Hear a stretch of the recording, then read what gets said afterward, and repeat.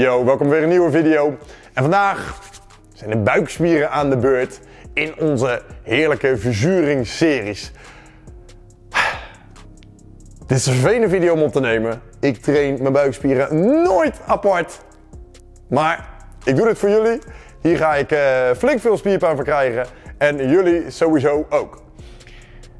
Ik heb weer een aantal mooie oefeningen geselecteerd. Sommige weer met een aanpassing. Um, altijd grote bewegingsuitslagen, spanning. Dat kennen jullie uit de vorige video's.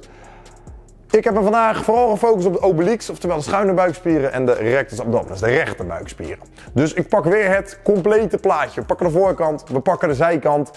En buiten dat heb ik een dynamische oefening toegevoegd. Uh, en wat ik met dynamisch bedoel, is dat het een oefening is die je buikspieren vanaf verschillende hoeken traint en op het moment dat je aan het bewegen bent, je niet alleen focust op die rectus abdominis of niet alleen op die, op die obliques, op die schuine buikspieren. Nee, een bewegende oefening die zowel versterkend is als dat je moet leren werken met je lichaam.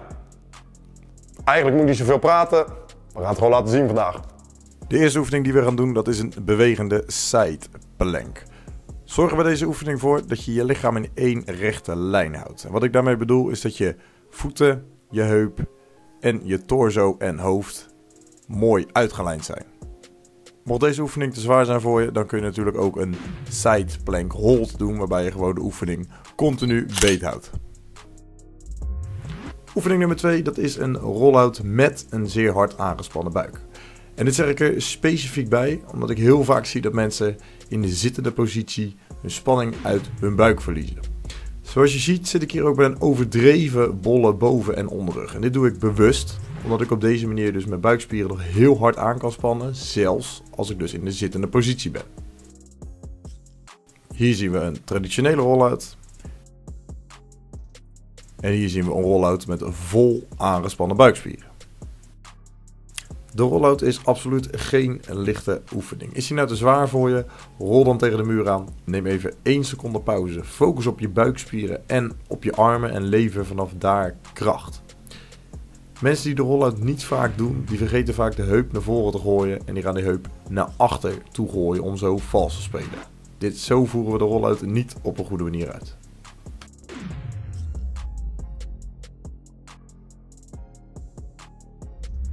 Oefening nummer 3 is een plank naar push-up. Focus hierop dat je je handen onder je ellebogen neerzet.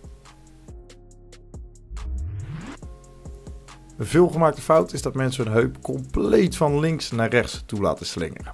Dit is een buikspieroefening, dus span je buik ook kei en keihard aan, waardoor je heup dus niet naar links en rechts slingert.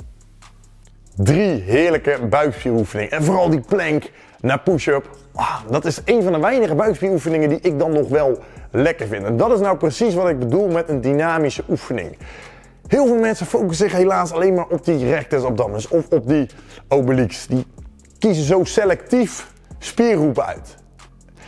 Dat is eigenlijk hetzelfde als op machines trainen. Je moet kunnen werken met je lichaam. Je bent niet gemaakt om selectief oefeningen te doen. Je moet kunnen bewegen en dan nog spanning kunnen houden. Dat is een juiste manier van trainen. En je pakt gelijk gewoon het hele complete lichaam mee en het complete plaatje. Zoals altijd zien we hier in beeld. Hoppakee. De setjes, de reps, etc. Je kan hem eventueel pauzeren. Dit doen wij ook weer in een 3-set. Dus we doen alle oefeningen achter elkaar. Ga je nou deze workout doen? Laat er alsjeblieft een reactie achter. Vind ik leuk eh, om te horen. Als je nieuw bent op dit kanaal en vond dit een leuke video, neem eens een kijkje op mijn kanaal. Dan kan je ook gelijk abonneren. Dit is Rem Schult, stotenstreng.nl. Ignite your fire and grow stronger.